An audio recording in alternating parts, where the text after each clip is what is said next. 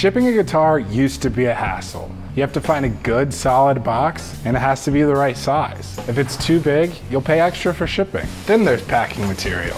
Newspaper compresses and gets smaller, bubble wrap leaks hair, and you end up with too much space in the box. That's what breaks guitars. Poor padding and room to knock around during shipping. The Aeris guitar shipping system changes all of that. It's a super secure way to hold the guitar during shipment. The Aeris system stores flat and takes up very little space. Look how small these are. This is a three pack. Three complete shipping boxes with three sets of inflatables, all in a box that's small enough to store anywhere. Now you no longer have to buy or find a place to store bulky shipping supplies.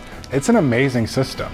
Aeris is the industry leader, supplying guitar manufacturers and large businesses. StewMac is partnered with Aeris so our customers can buy the guitar shipping system too. There's a version for an acoustic guitar in its case, for an electric guitar in its case, and here's something really special. A secure system for shipping a naked guitar without any case. There's a version for electric guitars and another for acoustics. Exclusively from StewMac, you can get three packs and six packs, the complete guitar shipping systems, and a handy pump too. We also offer a foot pedal valve for inflating from your shop's air compressor. That's handy if you ship a lot. Let's pull one from this three pack and see how it works. Each individual cell inflates from this one point, and when they're full, they seal themselves shut. If you were to cut one cell open, the others wouldn't lose any air. They're super firm and resilient, not like bubble wrap. You can pop the corners like this to help cradle the curves of the guitar case.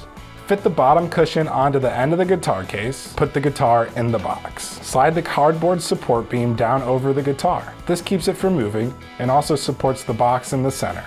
Now add the top cushion. See how these two points stick up? That's part of the design, to press against the end of the box so the guitar can't shift around inside at all. Just seal it up and you're ready to ship. It's secure and lightweight, and it's really solid. You've only added air, no extra weight to pay for in shipping. Plus, the length and width of the box are precisely figured to keep your shipping costs down. Your guitar is ready to survive trucks, airports, or whatever else comes its way.